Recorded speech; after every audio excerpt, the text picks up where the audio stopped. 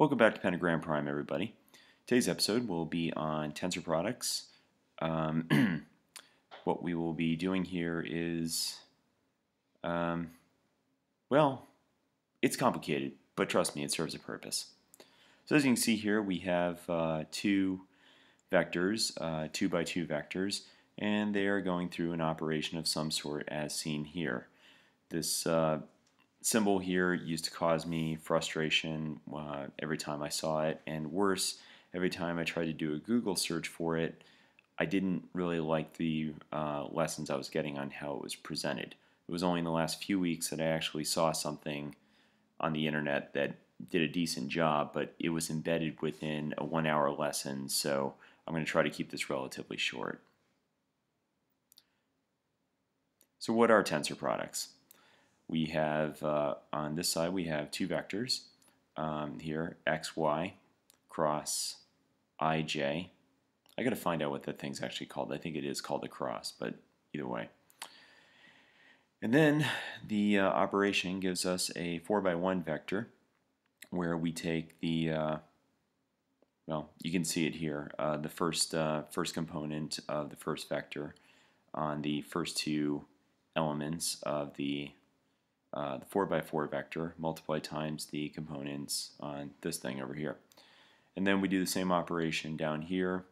Um, so, you know, xi, xj times yi, yj.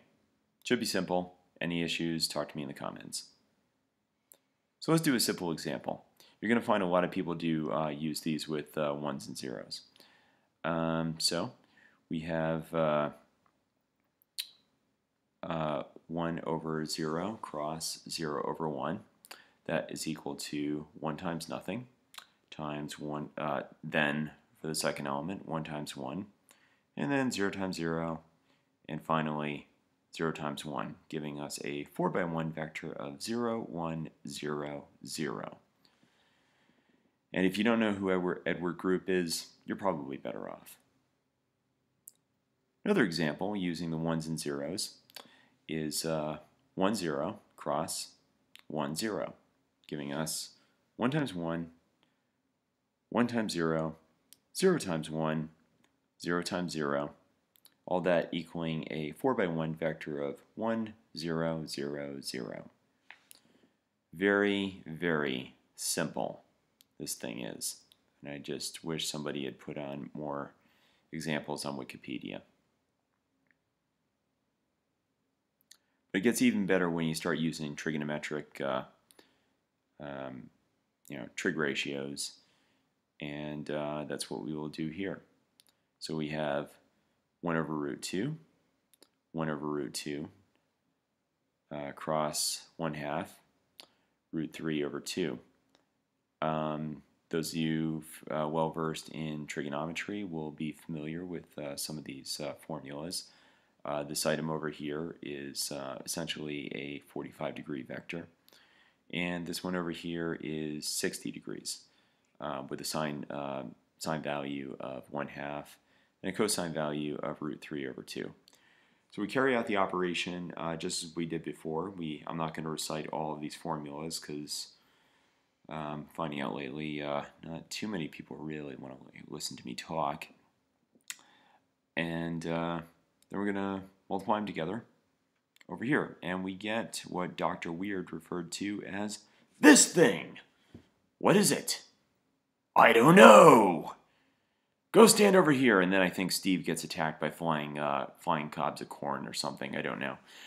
Um, but the interesting thing about this thing is that if I square this term, and I add it to the square of this term, and add it to the square of this term, and I added to the square of that term um, what I just described is the magnitude of that vector and it should come out to 1. And that's important because if you multiply these vectors via this operation and these are both uh, unity vectors uh, then they will um, the vector on the other side will also be equal to 1 as far as I know don't quote me on that but pretty sure that's how it turns out um, this operation wouldn't be useful otherwise. Um, in all the examples I've seen, it comes out 1.